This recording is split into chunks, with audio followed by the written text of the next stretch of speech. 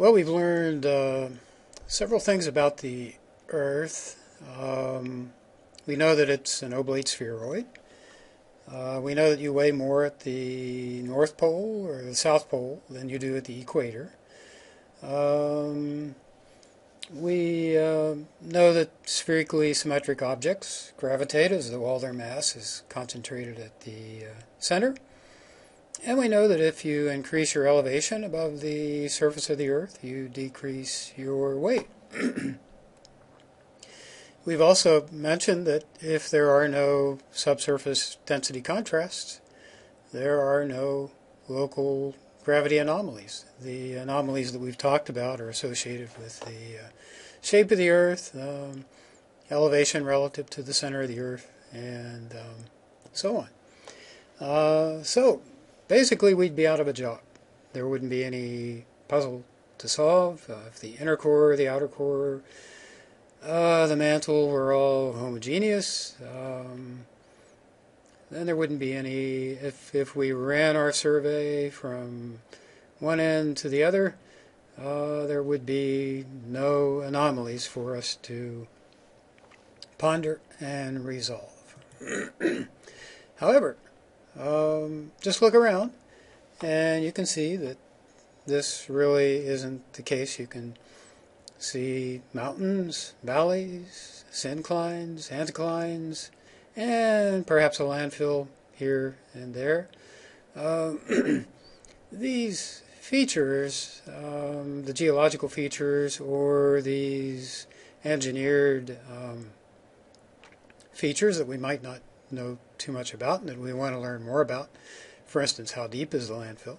Uh, if it was put in there a long, long time ago, we don't uh, we don't really know, that could be a problem we might want to address. So we might run a gravity survey across uh, the landfill to find out how thick it is, what the uh, underlying topography looks like.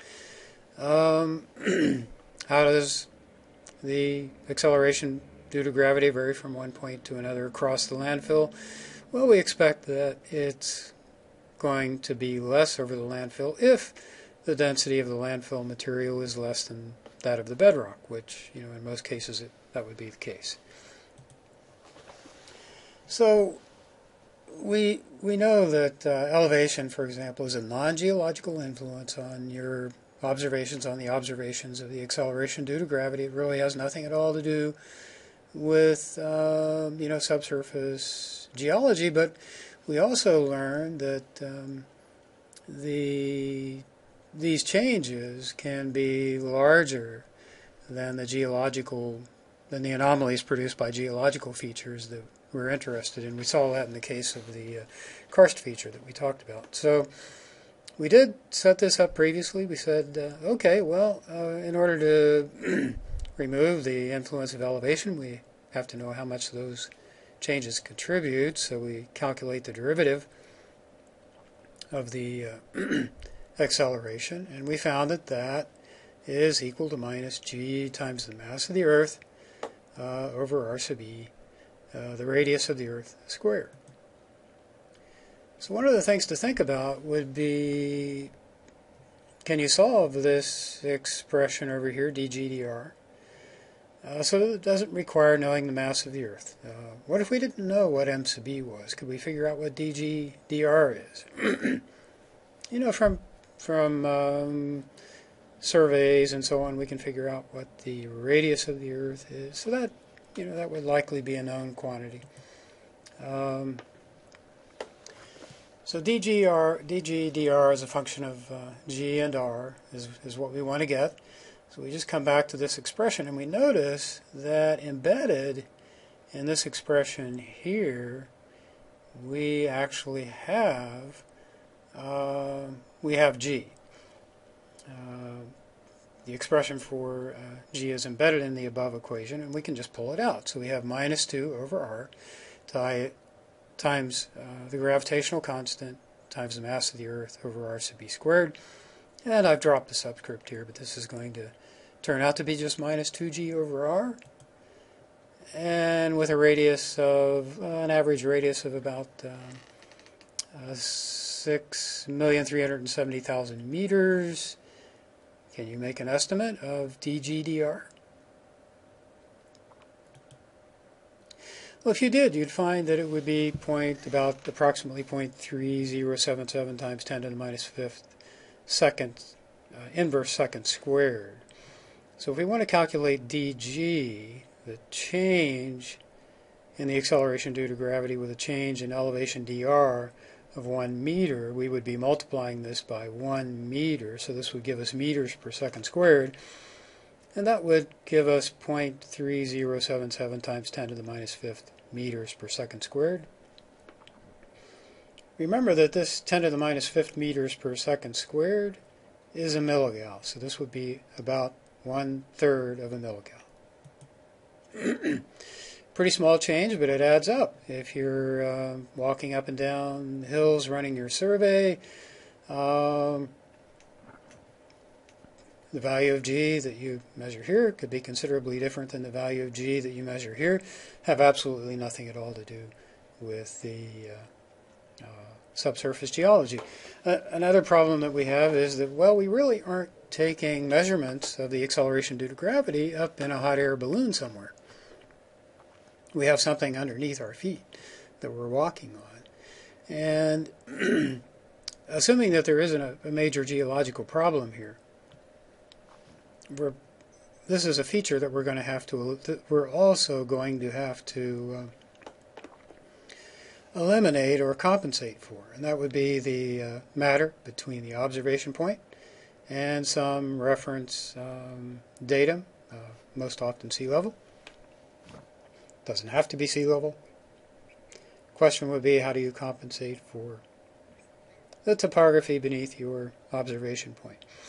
This is something that we'll get into in more detail later on, but we're just kind of cataloging, cataloging some of the, the effects uh, that we have to uh, correct for. Uh, we've already talked about um, already talked about these before. We know that we have, um, you know, we know that uh, depending on your latitude, your acceleration due to gravity is going to vary. You're you're going to weigh more. The uh, acceleration due to gravity is going to increase from about 9.78 at the equator to 9.83 or so at the uh, poles. And then we also have this centrifugal acceleration. so your, your velocity is about 463 meters per second. And um, if the Earth suddenly disappeared and you were tethered to the center of the Earth, you would go flying off at that velocity. And at that velocity, you could hit the moon in about two days.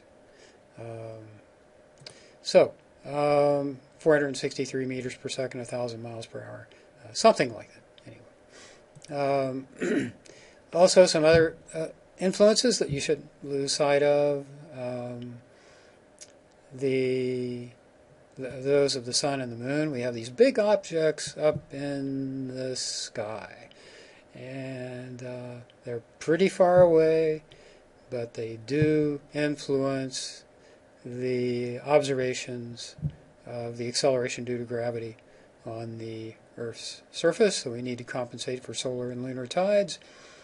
There, there are also issues uh, with mechanical instrumentation where you have some drift or some permanent elongation of the spring over time. And one attempts to minimize this by uh, pinning it when it's not in use and and so on. But it's another effect that you usually have to estimate and compensate for.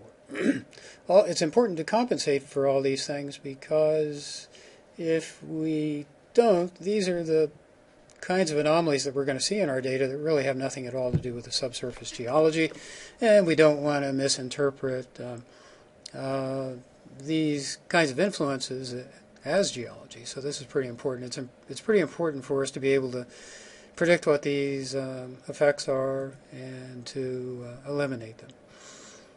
So we've talked about several several effects, and um, uh, what we'd like to do ideally would be to at any particular point, you know, in your backyard, uh, what is the acceleration due to gravity? You know, assuming that you knew nothing at all about the subsurface geology and its influence, uh, you could predict what's referred to as the normal gravity, which would be the gravitational acceleration on the reference ellipsoid.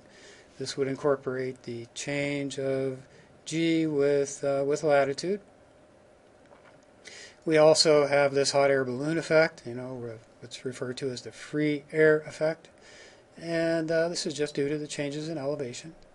Uh, when we talked about the effects of the material beneath your feet, there are two terms associated with that that we'll talk about more later on. One of them is referred to as the Bouguer plate effect, and the other is just the terrain effect. And then we also mentioned this uh, term in here, tide and drift, the effects of tide and drift, and they're they're often combined. So these different terms can be combined into an expression which is equivalent to a prediction of what the acceleration should be in your backyard or at any point along the transect that you're surveying in. And if the Earth is homogeneous, your observation will match your prediction. But this is rarely the case because there are other very interesting things going on in the subsurface. Uh, another thing that we'll be talking about, another quantity that we'll be talking about when we get into to the analysis of gravity data will be the gravity anomaly. Well, this this is really this is basically the heart of um, of just about everything that we do with um, with with gravity. This is where the interesting part of our work lies is in this remainder. We make an observation. We made that prediction. We estimated all these terms. We came up with a predicted or a theoretical uh, uh, estimate of the gravitational field. We end up with some anomaly. In other words, this theoretical or predicted value doesn't match the observation. There's an anomaly, and that anomaly is related to subsurface geology. And that, that's where all that's where we have a lot of, we have a lot of fun with that. That's where the fun begins. And um, so we often, you know, end up using computers to model the data. We have ideas about what's going on in the subsurface. We have maybe some well control, uh, some seismic data, you know, very, various uh, constraints that we can incorporate in our models to help explain what this gravity anomaly is associated with. And uh, the theoretical or predicted gravity, then, just to kind of come back and summarize, we can put this into uh, an expression that looks like this. This would be the theoretical gravity. Here's the normal gravity. Remember that the elevation influences are negative if we increase uh, our elevation. We have a negative sign in here because it reduces the acceleration due to gravity. Uh, the effects of topography and uh, terrain combined here with the plate term and the uh, topographic term. Um, plus sign for the plate because you have additional mass beneath your feet. A minus sign for the topography because uh, grooves in the surface uh, reduce the acceleration due to measured acceleration due to gravity, as do mountains above you. Uh, they basically pull the spring up as well. And then we have uh, tide and drift. So, if uh, if these theoretical and observed gravity match, then you might assume that there's no geology, no lateral heterogeneity.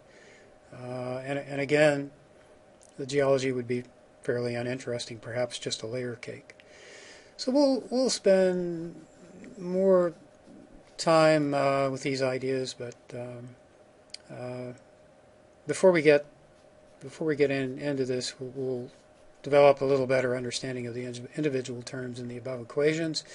And so go to your text, whatever text that you're using, look over these um, corrections, and um, uh, we'll talk about the Bouguer plate, the topographic correction, and uh, um, in a little bit more more detail in the uh, uh, next uh, next video. So see you then.